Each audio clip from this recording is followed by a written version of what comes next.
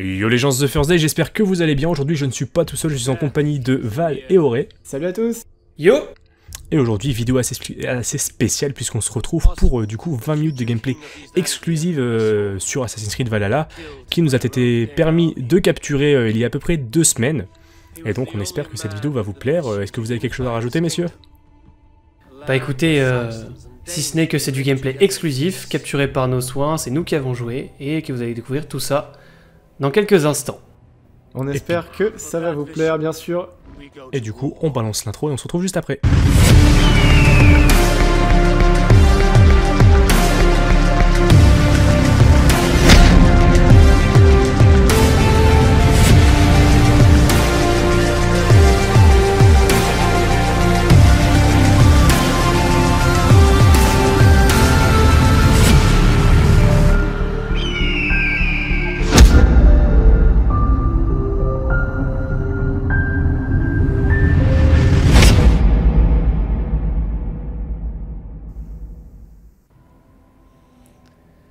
Les amis, bienvenue en Angleterre, en l'an 873 après Jésus-Christ.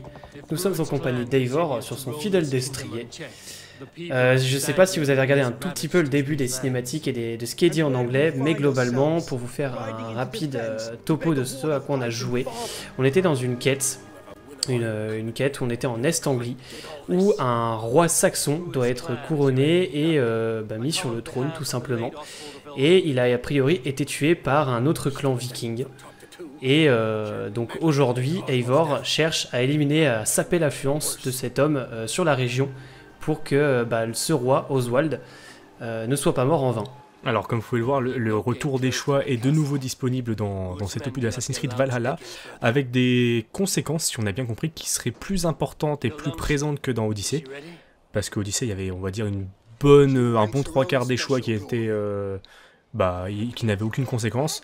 Et ici, on nous a dit que les relations, euh, l'entente avec certaines personnes, le fait que certaines personnes qui sont dans notre village restent ou ne restent pas, euh, des alliances et tout ça, auraient des conséquences via tous les choix que nous aurons à faire durant le jeu. Alors là, comme vous avez pu le voir, on a pu jouer à la fois Eivor en tant qu'homme ou en tant que femme. Alors personnellement, je sais pas vous, mais j'ai beaucoup aimé la version féminine d'Eivor qui change quand même pas mal de la version euh, de Cassandra. Enfin, je la trouve beaucoup plus charismatique que les Cassandra dans Odyssey. J'ai apprécié aussi, honnêtement, j'ai été surpris, agréablement surpris. Alors, et du coup, là, spoiler pour, pour ceux qui n'avaient pas remarqué, on voit Oswald, donc du coup, qui au final n'est pas décédé pour ceux qui ne parleraient pas euh, anglais. Donc toujours en vie, et par contre, durant notre session, donc là comme vous le voyez, on a un personnage qui est devant nous, durant notre session, euh, donc le premier run, euh, nous avions décidé, enfin Auré avait décidé de tuer euh, ce personnage, et donc pour vous montrer que...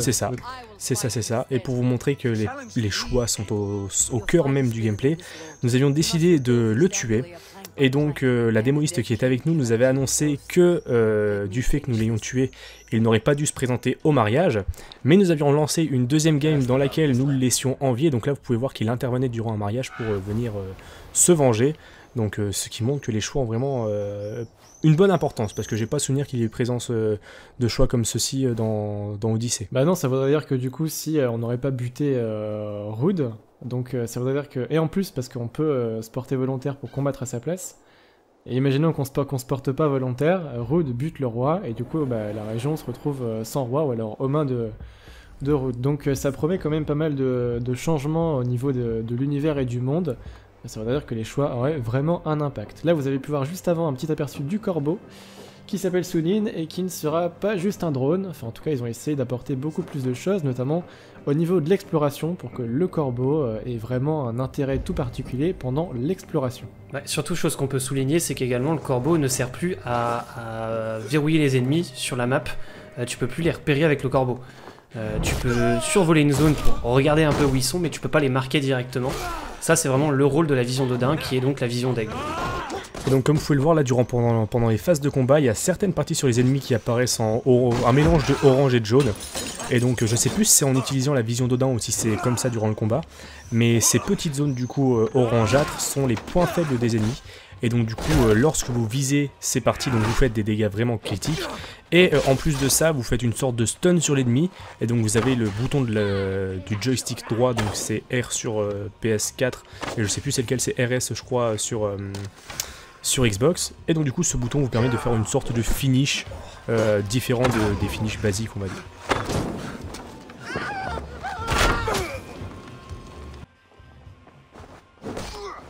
Là, vous pouvez voir les combats sont vraiment euh, variés et assez compliqués et vraiment hyper brutaux. Là, vous pouvez voir, euh, voir qu'il massacre son ennemi et qu'il lui fout deux coups de marteau dans la tronche.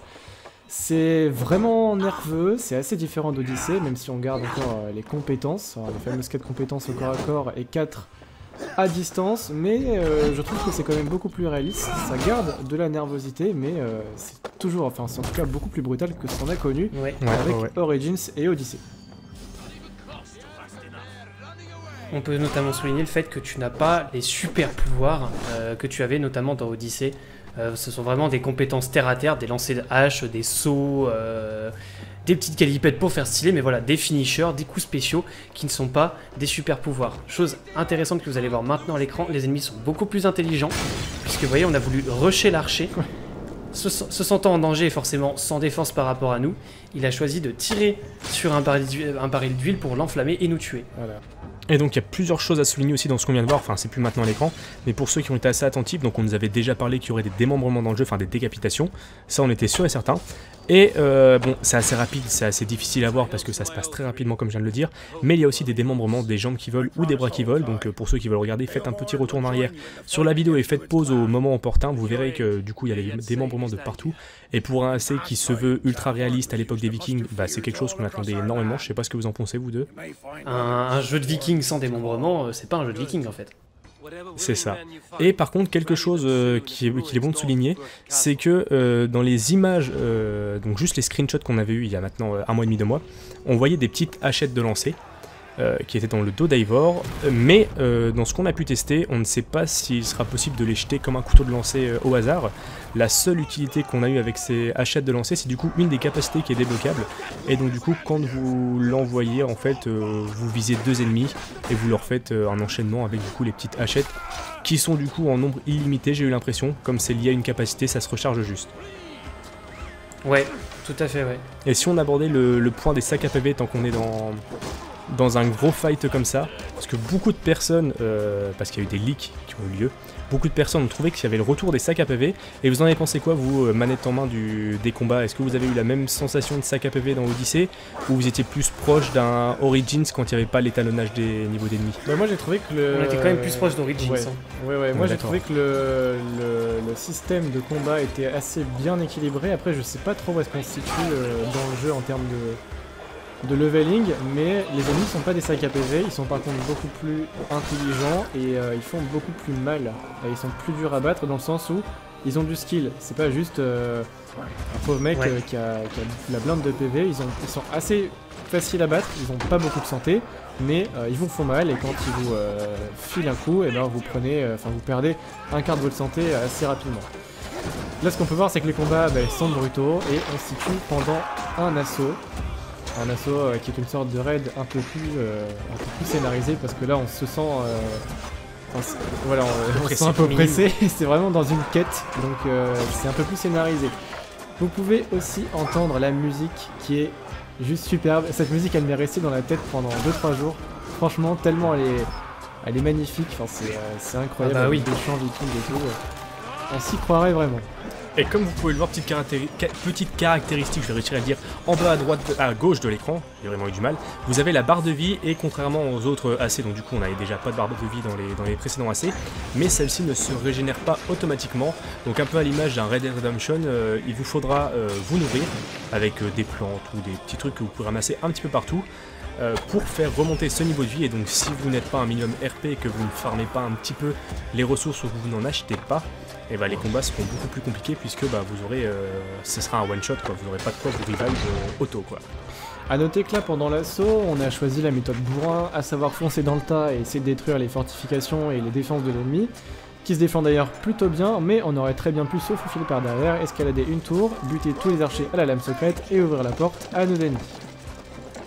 Et aussi, euh, là on l'a vu il y a quelques instants, euh, il y a la, enfin, il y a quelques instants, il y a la possibilité de tirer avec son arc sur euh, des objets en hauteur pour les faire tomber sur les ennemis. Donc Ouais. c'était déjà présent dans Syndicate, mais ça ne l'était plus depuis. Donc c'est vachement bien parce que j'ai l'impression que ce AC c'est vraiment la consécration, le jeu ultime ça regroupe vraiment un peu tous les éléments de gameplay de chaque Assassin's Creed. Je sais pas ce que vous en pensez.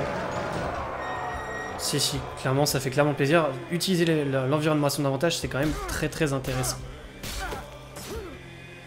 Tiens, on peut faire un petit, on arrêt sur euh, la lame secrète tant qu'on y est, puisqu'on l'a vu rapidement euh, à l'utilisation au tout début de, cette vidéo. Euh, sachez que pour le moment, de ce qu'on a vu nous, en tout cas, la lame secrète one shot. Il n'y a pas de, il a pas de, je couche l'ennemi et il meurt pas. Tout ce qu'on a pu voir à chaque fois, c'est que la, la lame secrète permettait de tuer d'un seul coup nos adversaires. C'est ça. Donc, c'est plutôt. Après, petit point noir en parlant de la lame secrète qui se veut infiltration. Euh, il est possible d'assassiner n'importe qui en toute discrétion et de faire une approche discrète.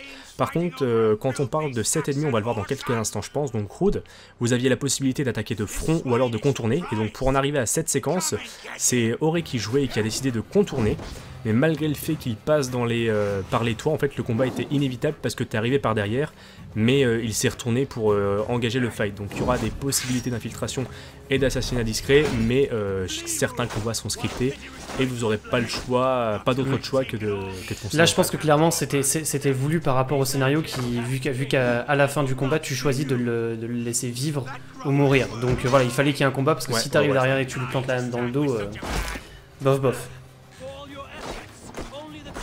Et là, comme vous le voyez à l'écran, quelque chose de très intéressant pour les personnes observatrices. Je vous laisse quelques instants. Mais si vous avez bien remarqué, sur l'épée, euh, il y a un logo qui nous est assez familier, je sais pas ce que vous en pensez. Si, c'est ce qui m'a poussé clairement à tuer cet homme à la fin de cette séquence. C'est ça, et donc du coup c'est le logo des Templiers, donc techniquement il n'existe pas encore à cette époque, enfin, ou alors c'est leur tout début. Euh, mais du coup, euh, ça confirme la présence de proto-templiers avec déjà une bonne idéologie bien ancrée, telle celle qu'on a connue dans les précédents AC et non pas comme dans Origins ou Odyssey. Thank you.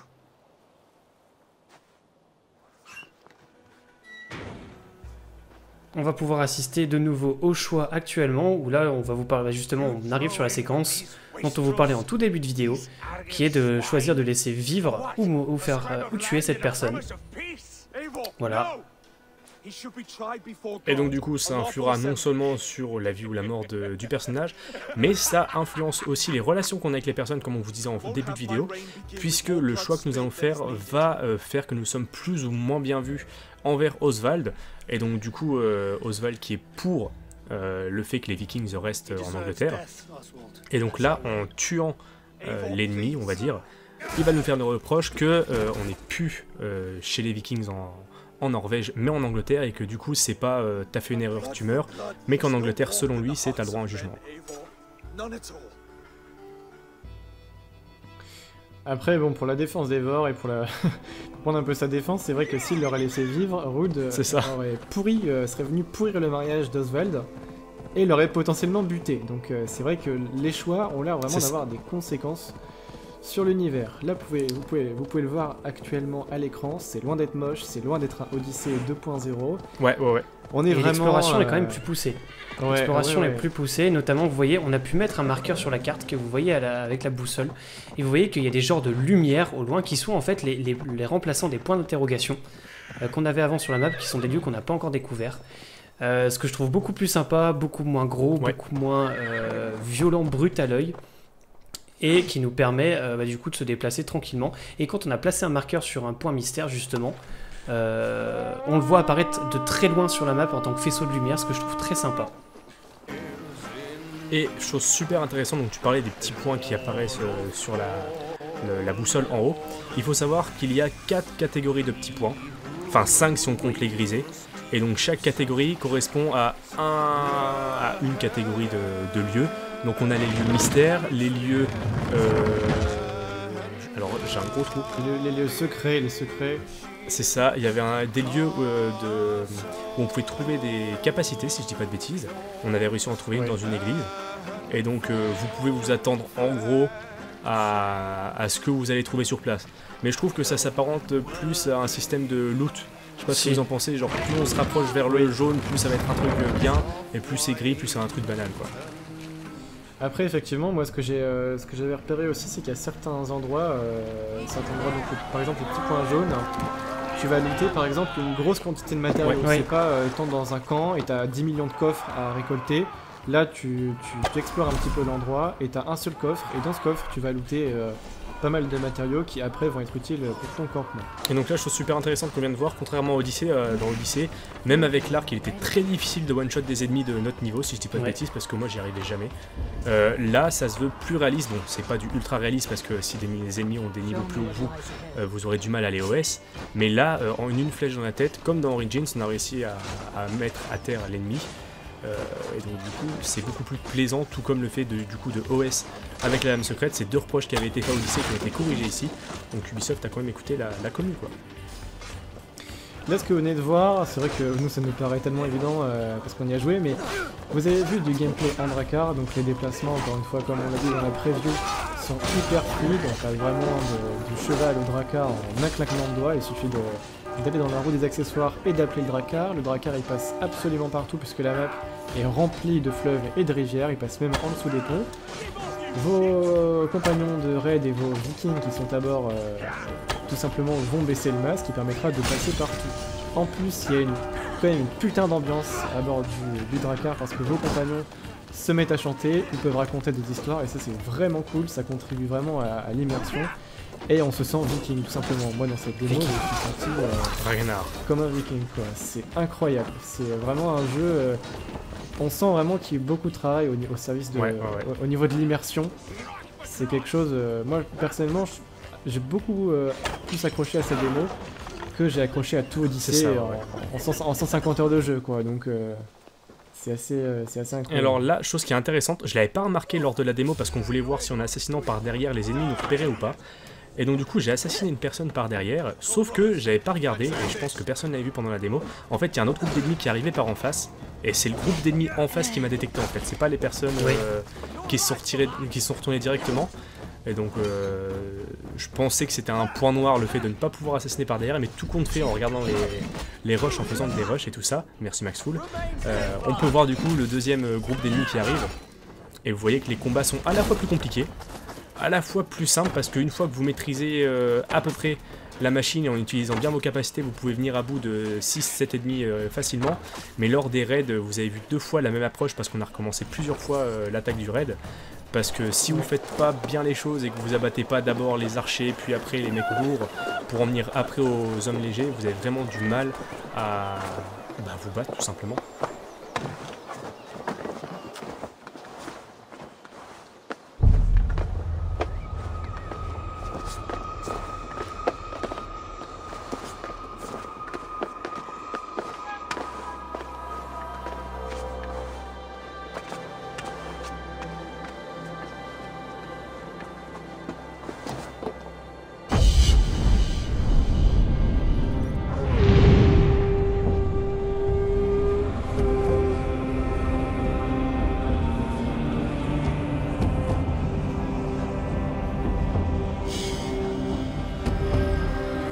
Comme vous avez pu le constater, au niveau de l'escalade, on s'est fini l'escalade un peu de partout. Il y a de l'escalade un peu puzzle, on peut pas s'accrocher n'importe où. Euh, notamment, les murs de pierre ne peuvent pas être grimpés s'il n'y a pas des pierres qui en ressortent. Et c'est un truc vachement bien parce que je trouve que la- le parcours avait perdu en réalisme dans les deux derniers AC où on pouvait grimper euh, partout. Là on est vraiment à un retour de ce qu'il y avait avant. Donc franchement, de ce qu'on a vu, je sais pas ce que vous en pensez, mais je trouve que les promesses pour l'instant sont tenues à voir le scénar. Mais euh, le fait de vouloir contenter les anciens joueurs et les nouveaux joueurs, donc mélanger anciennes et nouvelles formules, bah ça marche assez bien. Euh, après, il faut rendre à César ce qui est à César. Beaucoup de personnes avaient dit que euh, la formule de Origins ressemblait beaucoup à The Witcher. Et il faut avouer que la colorimétrie, pas le jeu, hein, mais la colorimétrie s'apparente beaucoup à du Witcher. J'ai vu beaucoup de personnes comparer à The Witcher, mais ça n'a rien à voir une fois manette en main. Je peux vous assurer qu'un gameplay à la The Witcher est très lourd, alors qu'ici on a vraiment un gameplay, euh, je vais pas dire nerveux, mais un gameplay très intéressant. On le sent clairement, hein, mais c'est pas, c'est pas pour autant mauvais de toute manière d'avoir une inspiration, mais clairement. The Witcher a fait partie des inspirations de l'équipe euh, pour créer ce nouvel univers.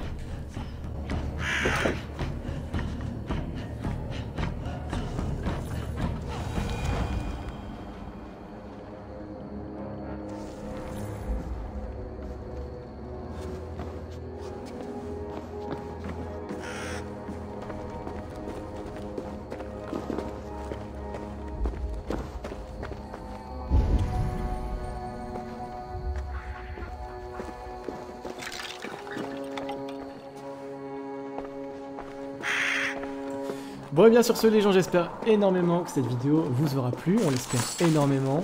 Ça a été un plaisir de jouer au jeu et ça a été un plaisir aujourd'hui de vous en parler, donc si vous en voulez plus, n'hésitez pas à bombarder cette vidéo de likes et à nous donner votre avis en commentaire. On termine sur un plan magnifique et comme vous l'a dit Val, euh, on a plein d'images à vous montrer. On parle pas forcément pour dire grand chose puisqu'on a dit énormément de, choses tout de même, mais euh, on a pas mal d'images à montrer donc euh, bah, J'espère que ça vous aura plu. C'était Val, Auré et First. En direct de la Assassin's Creed Experience. Salut à tous. Ciao tout le monde. Paix et sérénité.